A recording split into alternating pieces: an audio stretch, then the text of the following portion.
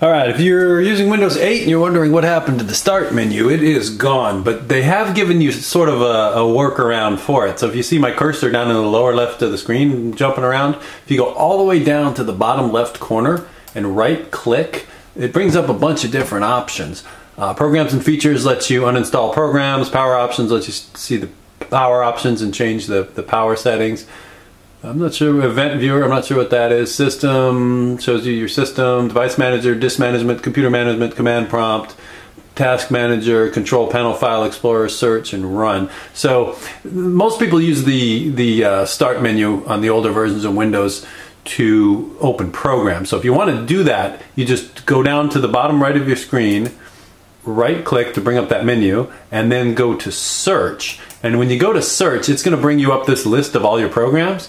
So that's a good way to you know emulate the way that you would use the start menu to choose your programs. And then you can of course go down there and goof around with all these other things and see what else is possible. You know, it is nice to have a quick access to your control panel as well, which is here. So uh, take that, play around with it, just go all the way to the bottom left and right click